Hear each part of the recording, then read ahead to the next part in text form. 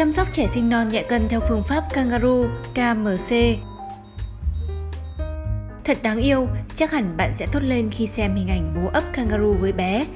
Một biện pháp chăm sóc trẻ sinh non và nhẹ cân cực kỳ hữu hiệu đang được áp dụng tại khoa sơ sinh Bệnh viện Phụ sản Hà Nội. Phương pháp ủ ấm KMC hay còn gọi là Kangaroo Mother Care là tiếp xúc da kề da giữa mẹ hoặc bố với bé. Đặc biệt có tác dụng với trẻ sinh non là những em nhỏ gặp rất nhiều khó khăn trong chăm sóc và điều trị do bệnh lý phức tạp, trẻ quá nhỏ và sức đề kháng thấp. Vì sao gọi là phương pháp kangaroo?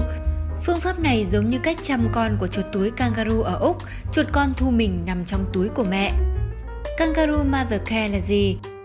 Phương pháp ủ ấm KMC là tiếp xúc da kề da giữa mẹ bố với bé.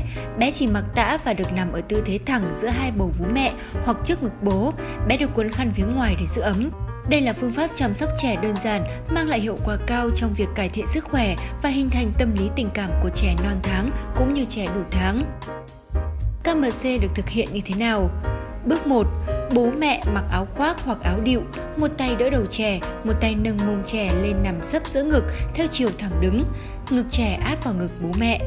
Bước 2, đầu của trẻ hơi ngửa nhẹ, mặt quay sang một bên, hai tay và hai chân ở tư thế con ếch bám trên ngực và bụng bố mẹ, luồn áo điệu qua hai chân của trẻ. Bước 3, kéo mép trên của áo điệu ngang tay trẻ. Bước 4, kéo mép dưới của áo điệu phủ hai chân trẻ. Bước 5, đảm bảo áo điệu được điều chỉnh để giữ trẻ cố định và an toàn trên ngực bố mẹ, ngay cả khi bố mẹ đi lại và làm việc nhẹ nhàng. Tại Bệnh viện Phụ sản Hà Nội, các em bé đều được ra kề da với mẹ, bố hoặc người thân trong gia đình liên tục 20 giờ mỗi ngày. Trong suốt quá trình thực hiện da kề da, các bác sĩ và nhân viên y tế khoa sơ sinh luôn theo dõi sát sao, hướng dẫn và hỗ trợ để đảm bảo trẻ đạt lợi ích tốt nhất.